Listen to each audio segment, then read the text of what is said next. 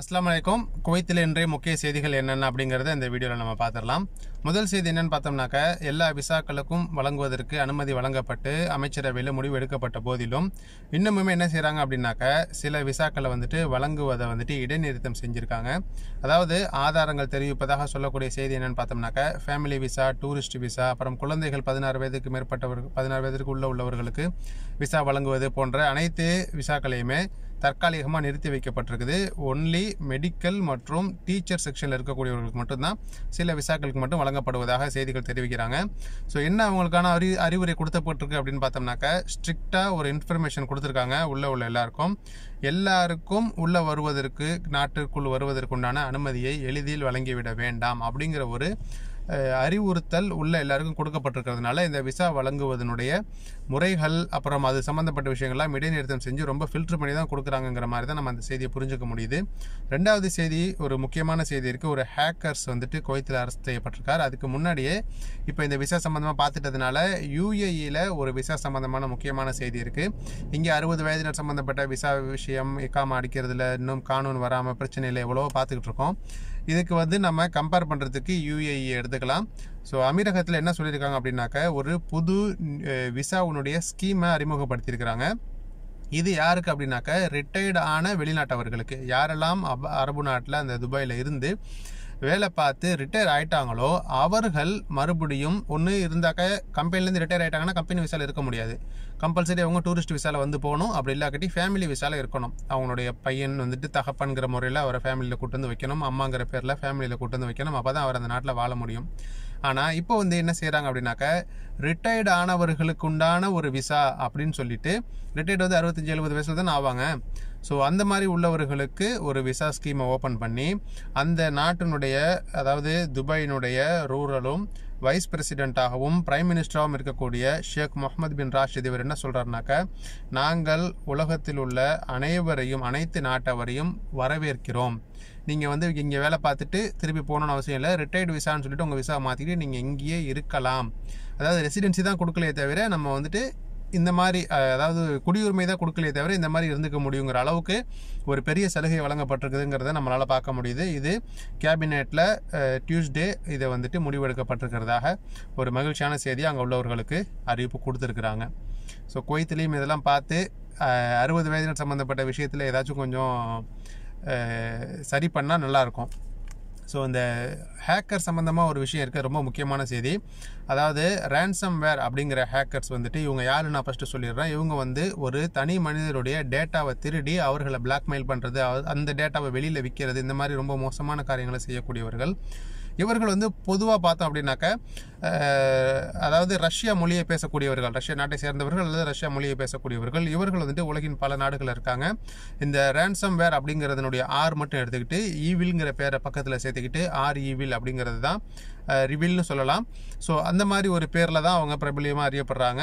லா enforcement agents அப்படிங்கிறவர்கள் மூலியமாக தொடர்ந்து உலகின் பல பகுதிகளில் இவர்களை தேடுதல் செய்து அரெஸ்ட் பண்ணிட்டு இருக்காங்க தொடர்ந்து இந்த அரெஸ்ட் நடந்துகிட்டு இருக்குது கடந்த ஐந்து நாட்களாக. இதே போன்று ரஷ்யா அதாவது ரஷ்யா உக்ரைன் போலாந்து இந்த மாதிரி நாடுகள் அரசு செய்யப்பட்டு இதே நபர் குவைத்திலையும் இருக்க கண்டு ரோமானியா சவுத் கொரியா மற்றும் குவைத்திலையும் இவர்கள் வந்துட்டு அரசு செய்யப்பட்டிருக்கிறாங்க அப்படிங்கிற ஒரு முக்கியமான ஒரு தகவல் வந்திருக்குது. பர்சனல் டேட்டாவை திருடிட்டு அவர்களே பிளாக்மெயில் பண்ணுறது தான் இவர்களுடைய ஹேக்கர்னுடைய வழிமுறை. ஸோ அதுக்கு அடுத்தது முக்கியமான விஷயம் என்னென்னு பார்த்தோம்னாக்க தொடர்ந்து வந்து வெளிநாட்டவர்களை வந்துட்டு எக்காம இல்லாதவங்க அல்லது விதிமீறல்கள் இருக்கிறவங்கள அரெஸ்ட் பண்ணுறது அப்புறம் வந்துட்டு அந்த ஜெயிலில் வைக்கிறது அப்புறம் நாடு கடத்துறது. இது தொடர்ந்து நடந்துகிட்டு இருக்குது. ஷேக் சபா இருந்தவர் வரைக்கும் தொடர்ந்து வந்துட்டு பொது மன்னிப்பு கொடுக்கப்பட்டுட்டே இருந்தது. இப்போ கொரோனா பீரியடுக்கு அப்புறம் இன்னமும் பொது மன்னிப்புக்காக வேண்டி நிறைய பேர் காத்திருக்காங்க. ஆனால் அரெஸ்ட் பண்ணி ஃபிங்கர் வச்சு ஊருக்கு அனுப்புகிற செயல் தான் தொடர்ந்து நடந்துகிட்டு இருக்கிற நிலையில் ஒரு வாரத்தில் மட்டும் இந்த மாதம் மூணாம் தேதியிலிருந்து ஒன்பதாம் தேதிக்குள்ளே நானூற்றி இருபத்தி ஆறு விதிமீறல்களில் இருந்தவர்களை வெளிநாட்டு அவர்களுடைய நாட்டுக்கு அனுப்பப்பட்டிருக்கிறாங்க அப்படிங்கிற ஒரு புள்ளி விவரத்தை சொல்லியிருக்கிறாங்க. இன்னமும் இந்த அரெஸ்ட் வந்துட்டு தொடரும் அப்படிங்கிறதையும் சொல்லியிருக்காங்க. அப்புறம் இன்னொரு விஷயத்தை நான் இது கூடவே சேர்த்து சொல்லிடுறேன். அதாவது சட்ட மீறல்கள் இருப்பவர்களை அரெஸ்ட் செய்யும் பண்ணி தொடர்ந்து இருக்கிற நேரத்தில் அதாவது இப்போது எனக்கு தெரிஞ்சு நிறைய பேர் வந்துட்டு அந்த வெளிநாட்டவர்கள் வந்துட்டு விதிமீறல்கள் இருந்தாங்க நாடு கடத்தப்படுவதற்காக வேண்டி ஜெயிலில் வச்சுருந்தாங்க இல்லையா? அவர்கள் வந்துட்டு ஜெயில் ஃபுல்லாக ஆயிடுச்சு அதனால நாங்கள் தேடுதல் வேட்டையை குறைச்சிக்கிட்டோம் அப்படின்னு சொல்லிட்டு கொஞ்ச நாளைக்கு முன்னாடி செய்தி வந்துச்சு. இப்போ அவங்களாம் நாடு கடத்திட்டாங்க போல தெரியுது அங்கே காலி ஆகிடுச்சான்னு தெரில மறுபடியும் என்ன ஆயிருக்குன்னு பார்த்தாக்க யார் யாரெல்லாம் விதிமீறல்கள் இருக்காங்க எக்காம முடிஞ்சிருக்காங்க த அவர்களுடைய எக்காம அல்லாத வேறு எக்காமல வேலை பார்க்குறாங்க வீட்டு எக்காம அடிச்சுட்டு வெளி வேலை பார்க்குறாங்க வேறு கஃபீல்ட்ட வேலை பார்க்குறாங்க பதினெட்டாம் நம்பர் எக்காமல இப்படி எல்லா வகையிலையும் தேடுதல் வேட்டையில் இறங்கி கண்டுபிடிச்சி அவங்கள நாடு கடத்திக்கிட்டு இருக்கிறாங்க.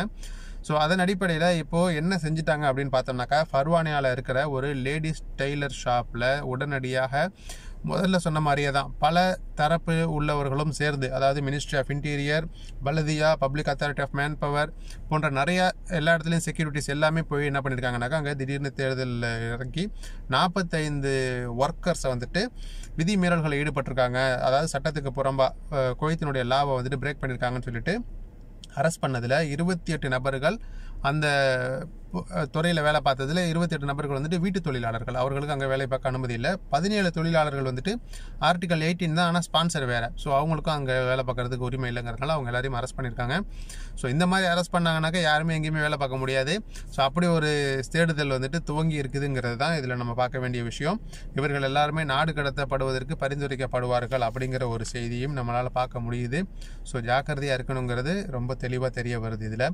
ஸோ அதுக்கு அடுத்த விஷயம் என்னென்னு பார்த்தோம்னாக்கா திங்கட்கிழமை மீட்டிங்கில் பூஸ்டர் டோஸ் போடுவதனுடைய இம்பார்ட்டன்ஸ் பற்றி முக்கியத்துவமாக கொடுத்துருக்குறாங்க. ஸோ செகண்ட் டோஸ் போட்டு ஆறு மாதமானவர்கள் தேர்ட் டோஸ் பூஸ்டர் டோஸ் எடுத்துக்கோங்கிறது தான் மண்டே மீட்டிங்கில் பேசினதாக செவ்வாய்க்கிழமை வந்தது. ஸோ அதுதான் நான் இன்றைக்கி உங்களுக்கு சொல்கிறேன் ஸோ அடுத்தது ரெண்டு சின்ன நியூஸ் இருக்குது அதாவது ஒரு வெஹிக்கிளில் ஒரு வாகனத்தில் ஒருவர் வந்து அந்த பீச்சினுடைய ஓரங்களில் புறாக்கள்லாம் உட்காந்துருக்கும் மரத்தினுடைய நிழல்களில் இப்போ நிறைய உட்காந்துருக்கு அந்த இடத்துல வலை விரிச்சு அவ்வளோ புறாக்களையும் அப்படியே ஒரு வண்டியில் எடுத்து போட்டுட்டு ஒரு ஆள் கிளம்புறாரு. அந்த வீடியோ வைரல் ஆகிடுச்சு அதை யாரோ ஒருத்தவங்க எடுத்து வீடியோ போட்டிருக்காங்க. அதை இன்வெஸ்டிகேஷன் துவங்கி இருப்பதாக சொல்லியிருக்காங்க. அந்த வீடியோ வந்துட்டு என்னுடைய ஃபேஸ்புக்கில் இருக்குது ஸோ என்னுடைய ஃபேஸ்புக் பேஜை போயிட்டு பாருங்கள் தேவைப்படுறவங்க. அதே மாதிரி ஜஹரா பகுதின்னு நினைக்கிறேன். அங்கே ஒரு பத்து வயதான ஒரு நபர் வந்துட்டு ஒரு பையன் வந்துட்டு ப்ராடோ காரில் தனியாக வண்டி ஓட்டிகிட்டு போயிருக்கான். ஸோ அவனையும் வந்துட்டு இது பிடிச்சிருக்கிறாங்க. அந்த வாகனத்தையும் சீஸ் பண்ணியிருக்காங்க அந்த நபரையும் அந்த பையனையும் அவர்களுடைய கார்டியனையும் பேரண்ட்ஸோ அல்லது யாரோ காவலாளியோ அவர்களையும் வந்து என்ன செஞ்சுருக்காங்கனாக்கா இன்வெஸ்டிகேஷனுக்கு உட்படுத்திருக்கிறாங்கிறதையும் சொல்லியிருக்காங்க கடைசி செய்தி பார்த்தோம்னாக்கா அபு இருக்கக்கூடிய பப்ளிக் அத்தாரிட்டி ஆஃப் மேன் பவருடைய ஆஃபீஸில் சம்பளம் கொடுக்கவில்லை அப்படிங்கிறதுக்காக வேண்டி ஒரு பன்னெண்டு இருபது மக்கள் வந்து என்ன செஞ்சுருக்காங்கனாக்கா அங்கே ஒரு ஸ்ட்ரைக் மாதிரி ஒரு போராட்டத்தில் ஈடுபட்டிருக்கிறாங்க. சம்பளம் கொடுக்கல அப்படிங்கிறதையும் சொல்லியிருக்காங்க. ஸோ இதான் இன்றைய முக்கிய செய்திகள். செய்தி கொஞ்சம் லென்த் ஆகிடுச்சான முக்கியமான செய்திகள் நிறையா இருக்குது ஸோ அனைவர்களும் இந்த செய்தியும் ஷேர் பண்ணுங்கள் உங்களுக்கு ஏதாவது சந்தேகங்கள் இருந்துச்சுனாலும் டெலிகிராம் குரூப்பில் என்கிட்ட பேசலாம். நன்றி.